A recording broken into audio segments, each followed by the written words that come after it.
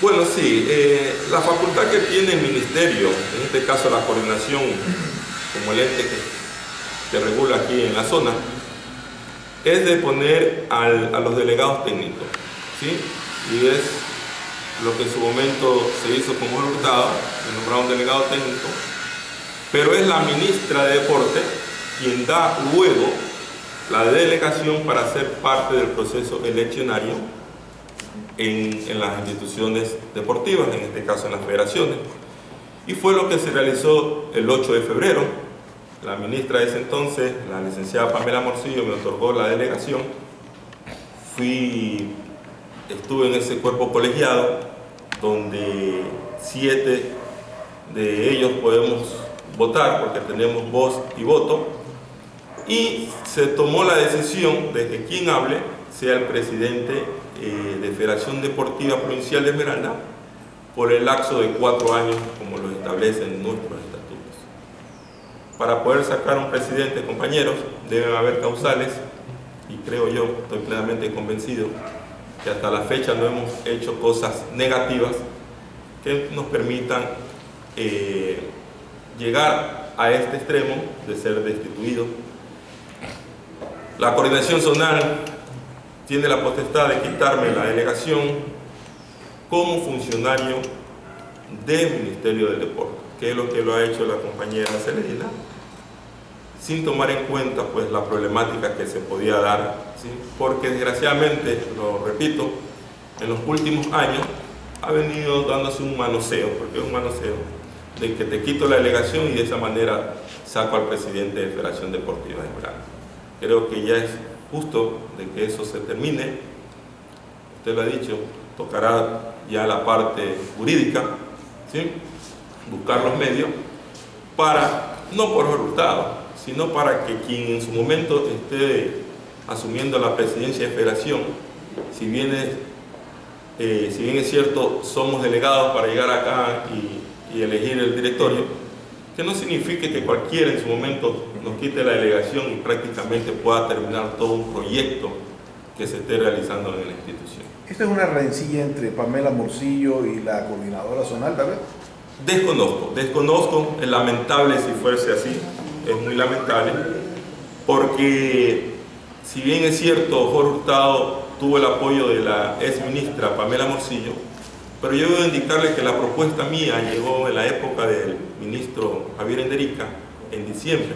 Es más, le puedo comunicar que cuando me llegó la propuesta, tuve la sensatez de primero reunirme con Celedina, que en ese entonces era la presidenta de la institución, justamente aquí en la piscina, donde tuvimos un diálogo y yo le manifestaba que me habían propuesto la presidencia de Federación Deportiva Esmeralda, pero que quería saber si ella iba a continuar, si aspiraba a alguna reelección o cómo, qué pensaba ella, de la cual me supo manifestar que no quería saber nada de federación porque aquí es un problema con las cantidades de inconvenientes que se tiene y que ella ya no quería saber nada de la federación.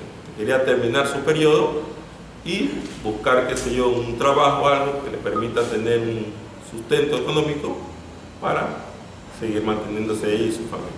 Por eso es lamentable, en el caso de que fuese por, por el tema de la licenciada Morcillo, que ella quiera pues eh, endosarnos, endosarnos esa problemática a este nuevo directorio encabezado por, por Licenciado Luis Freire Adrián, del diario El Telégrafo.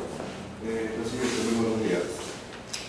Eh, ¿Cuántos funcionarios de Fede Esmeralda se afectan con esta reducción de sueldo? Bueno, en, tanto como funcionarios de Esmeralda, ninguno. La reducción es directamente para los delegados técnicos y financieros del Ministerio del Deporte.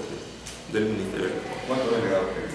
Eh, somos dos delegados que se manejan por provincia, 24 provincias. Estaríamos hablando de 48 personas.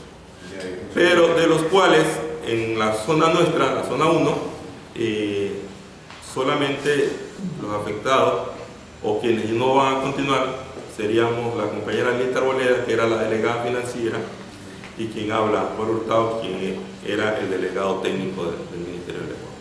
Eh, pero no se de a funcionarios de carrera. No, no, no. En este caso no. Eh, la afectación que hay a la institución es más bien por la inestabilidad. Eh, porque ya, te digo, o sea, nosotros hemos hecho algunos movimientos, al salir de quien habla, de repente eh, las personas que pudieran llegar no conocemos cuáles son sus intenciones, cuáles son sus objetivos.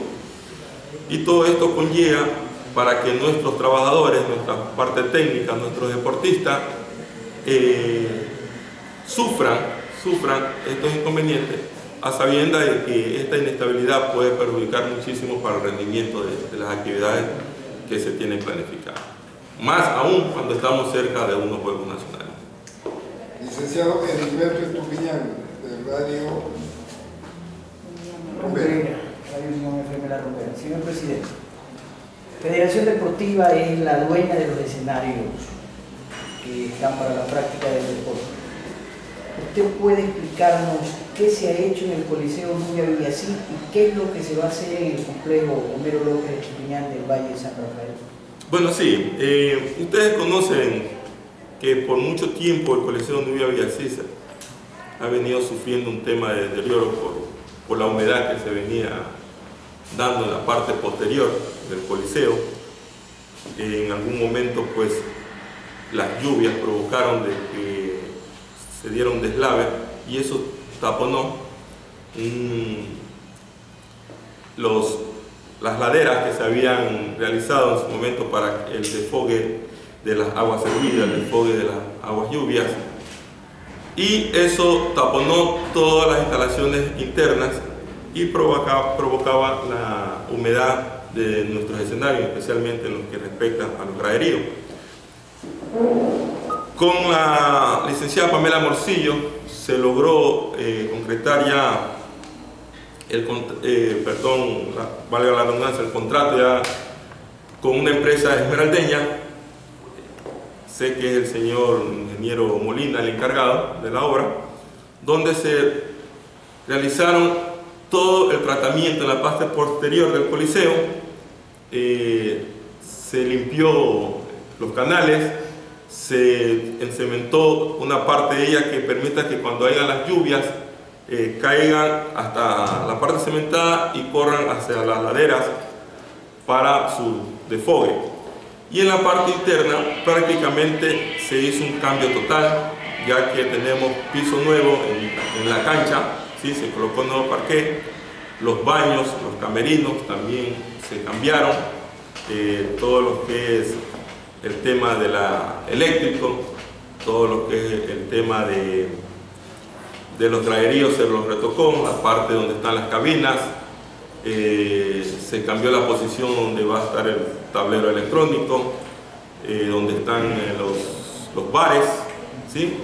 que nos permiten ver ya una nueva imagen de ese escenario deportivo que tanto anhelamos, que gracias a Dios pues actualmente podemos decir que ya lo tenemos solo estamos esperando que, que pueda ser recibido por parte del ministerio para que él a su vez nos entregue la obra y ya nosotros tener la administración total.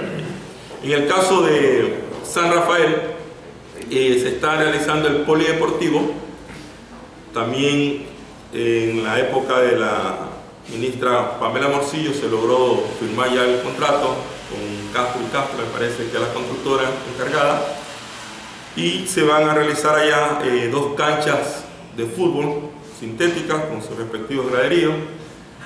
Se van a hacer dos coliseos, el uno va a ser para los deportes de, combate y el otro coliseo para uso múltiple, donde va a haber baloncesto, boli. En el primero mencionado va a haber eh, taekwondo, boxeo, lucha, karate Va a haber un área administrativa, otra área que va a ser exclusivamente para el tema de un gimnasio y pesas, áreas verdes y las canchas de uso múltiple que en el momento ya se encuentran. Esta obra se tiene planificada entregarla para finales del mes de enero, ¿sí? que también nos va a permitir tener ya los escenarios dignos ¿sí? para que nuestros deportistas puedan tener su entrenamiento y no seguir con todas las, las dificultades que nos encontramos hasta el momento en los lugares que nuestros deportistas están realizando sus entrenamientos. Como ustedes han de conocer, tenemos en el estadio algo que son cosas improvisadas, pero esperemos que al iniciar por el nuevo año 2018 ya nuestros deportistas tengan su escenario que tanto hemos venido buscando y que gracias al esfuerzo de quien en su momento estuvo como ministra, en el corto tiempo que estuvo, por lo menos logró dejarnos estos dos escenarios que se puedan restablecer, reconstruir y para uso de nuestros deportistas. De la misma manera, se está haciendo las gestiones para el Coliseo Ricardo Plaza, que es otro de nuestros escenarios, poderlo eh, mejorar y que de esta manera la disciplina de lucha pues siga realizando sus entrenamientos de una forma adecuada como se merecen los deportistas de nuestras provincias y todos los deportistas a nivel de nuestro país.